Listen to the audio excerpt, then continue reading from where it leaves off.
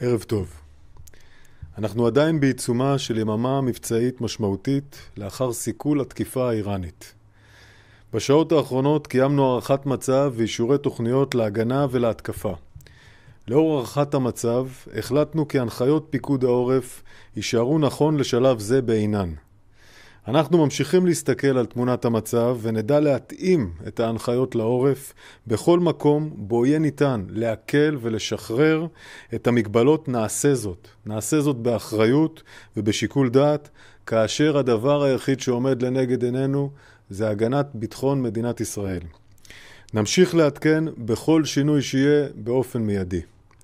ההתנהלות המופתית שלכם בעורף אמש ולאורך כל המלחמה ראויה להערכה גדולה, התנהלות בקור רוח, הקשבה ושמירה על הנחיות פיקוד העורף, ובכך הם מביאים להצלת חיים. אנחנו אחרי קרב אווירי מורכב ומוצלח, במסגרתו צה"ל, יחד עם קואליציה אזורית חזקה, מנעו וסיכלו את התקיפה האיראנית. איראן והשלוחות שלה, עיראק, תימן, חיזבאללה בלבנון, סיכנו את כל המזרח התיכון וגרמו לו לעמוד מלכת.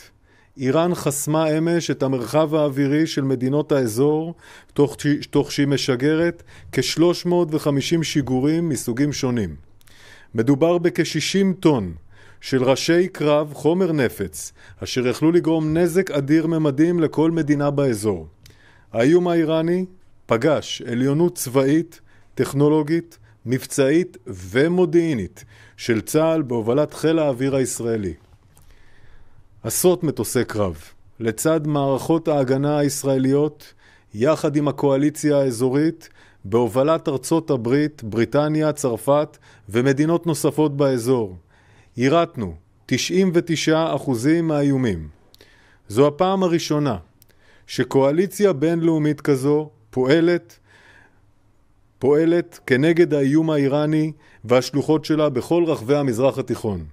הרמטכ"ל שוחח היום יחד עם מפקד פיקוד המרכז של צבא ארצות הברית, הגנרל מייקל אריק קורילה, והודה לו על ההובלה שלו, של הקואליציה, וביקש למסור את הערכה לכל השותפים אמש בקרב.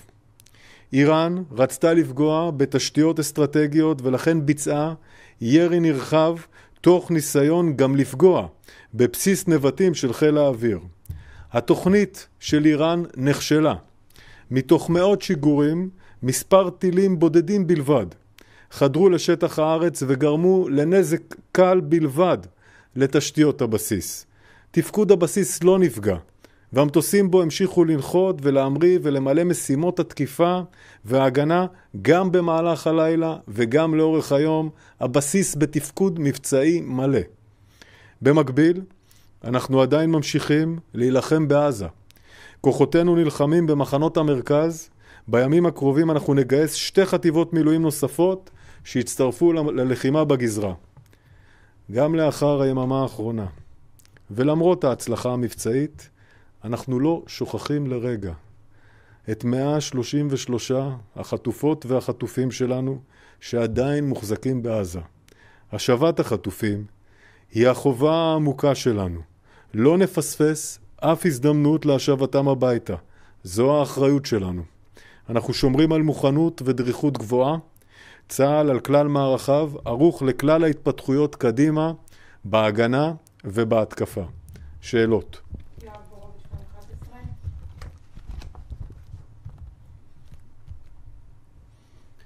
האם ישראל החליטה לתקוף בתגובה באדמת איראן, ואם כן, האם צריך להיערך לימים ארוכים של הגבלות?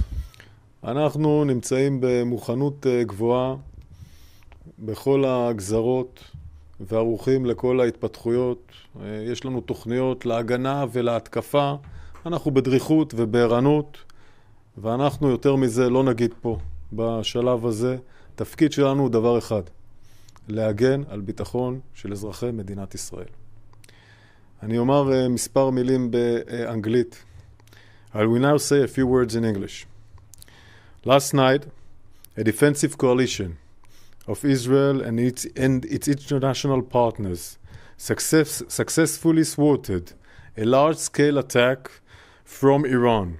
Iran and its proxies launched approximately 350 suicide drones, cruise missiles, and ballistic missiles and rockets from Iran, Iraq, Yemen, and Hezbollah in Lebanon towards Israel, with approximately 60 tons of warheads and explosive materials.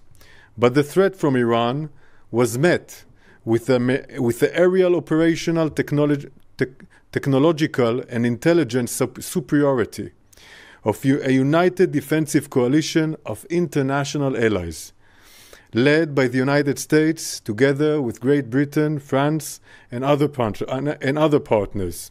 Together, we intercepted 99% of the threats towards Israel. Together, we thwarted Iran's attack. Iran's unprecedented attack was met with an unprecedented defense. This was the first time that such a coalition worked together against the threat of Iran and its proxies in the Middle East.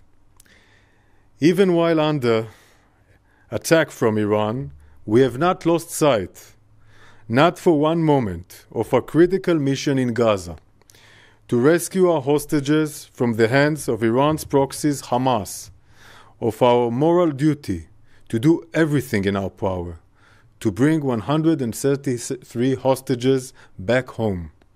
Hamas recently rejected the hostage release proposal offered to them by the mediators. Hamas and Iran want to ignite the Middle East and to escalate the region. We are still on high alert and assessing the situation. Over the last few hours, we approved operational plans for both offensive and defensive action. We will continue to protect the state of the state of Israel and together with our partners we will continue to build a more secure and stable future for the entire Middle East. Questions, please. Question from NBC What do you think Iran's intentions were for this attack, and how will it impact Israel's approach to Gaza, particularly its plan for Rafah?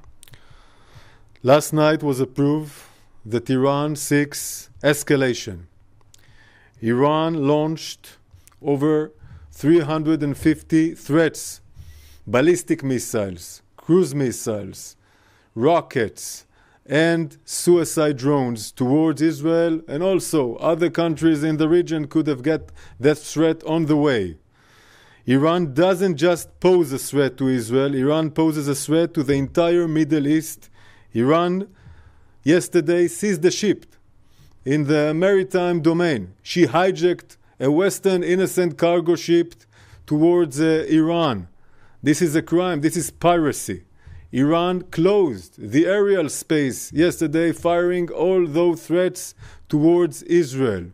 Iran, from the beginning of the war, wants only one thing to escalate the region. Until now, she worked through her proxies, but now she revealed, trying to escalate the region herself.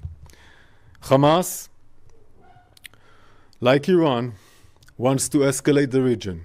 Hamas is still holding our hostages in Gaza, and we must do everything we can to release our hostages in Gaza.